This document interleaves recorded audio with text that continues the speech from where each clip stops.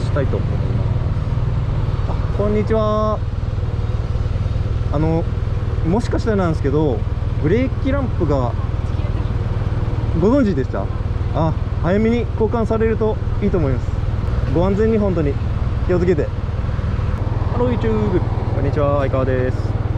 今日珍しく86のブレーキランプがね片方切れていました、まあ、片方だけでもね切れると、まあ、直後に両方切れることもあるんでね、まあ、どうかね気をつけて早めにね交換されるといいと思います。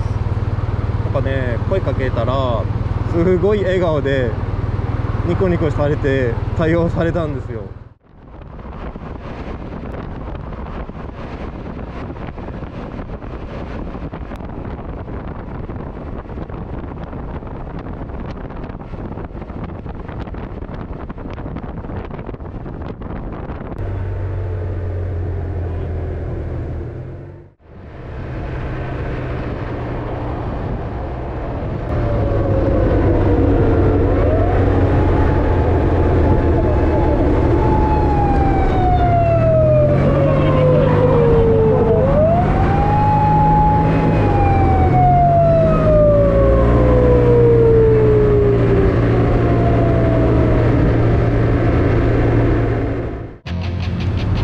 落っことしちゃった。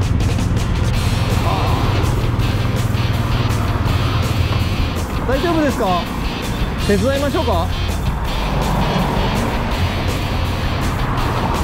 おう。大丈夫？お気をつけてあの結構車通ってるんで、